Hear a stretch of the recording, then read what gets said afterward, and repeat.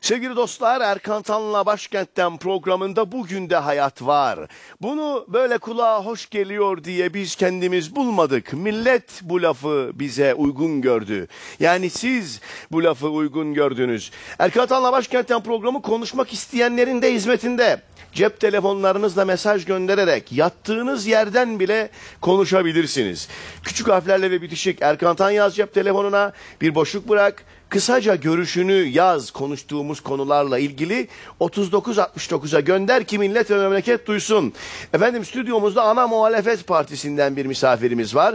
Umut Oran, Cumhuriyet Halk Partisi İstanbul Milletvekili. Günaydın efendim, hoş geldiniz. Günaydın, Bey. iyi sabahlar diliyorum. Sağ olun atanamayan öğretmenleri duydunuz. Sizin de seçim esnasında ciddi bir e, çalışma alanınızdı Cumhuriyet Halk Partisi olarak. Ne düşünüyorsunuz?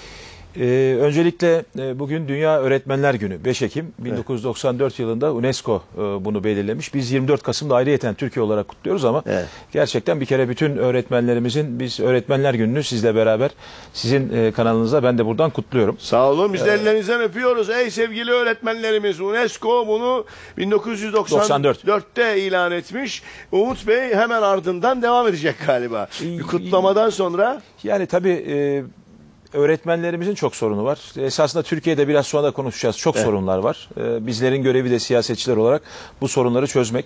İktidar Partisi'nin temel görevi, ana görevi bu sorunları çözmek ama hakikaten öğretmenlerin durumu bir dram. E, hem atanamayan öğretmenler. Yani şimdi bakıyoruz biz öğretmenlerimiz e, bir kere e, geçim derdinde. Yani çalışan öğretmenimiz de biliyorsunuz orada farklı sözleşmeli var, kadrolu var, taşeron öğretmenlik var. Bir kere bir geçim derdinde. İkincisi işte dışarıdaki öğretmen arkadaşlarımız gibi iş derdinde, ekmek peşinde yani iş bulamıyor. Bir başka şey oldu şimdi yeni bir şey. Öğretmenlerimiz kaçırılıyor can derdinde. Yani şu anda 8 tane öğretmenimiz hala bulunamadı. Biliyorsunuz 12 tane öğretmenimiz kaçırıldı doğuda. Evet. Ee, yani bir de can derdinde. Yani çok zor şartlarda e, çok önemli görevler ifa ediyorlar. Türkiye'nin geleceğini esasında e, onların elinde. Ama biz öğretmenlerimize işte burada söylenen de 55 bin tane hiçbir şey değil bugün bütçeye baktığımız zaman ki kişi başı şeye bakıyoruz biz. Yani Avrupa standartlarında, dünya standartlarında vermiş olduğumuz taahhütlerde e, kişi başı derslik şu anda 41-42 30'lara inmesi lazım. Demek ki yani daha fazla sınıfa ihtiyaç var. Demek ki daha fazla öğretmene ihtiyaç var. Demek ki yani arzla talep esasında örtüşüyor. Yani burada siyasi irade bu işi çözmesi lazım, inat etmemesi lazım. Peki efendim yani siz iktidarda olsaydınız bunları atayacak mıydınız ki? Kaynak nerede? Para nerede? Maaş nerede? Diyorlar. Adalet ve E, Kalkınma şimdi Partisi. diyorlar tabii. Yani çok basit bir kaynak. Mesela e, Sayın e, Başbakan e, özel uçaklarla e, bir sürü yüzlerce korumayla işte bir sürü insan hi- himayesinde bu Güney Afrika'ya gitti. Tamam. Yani normal tarifeli uçakla gider.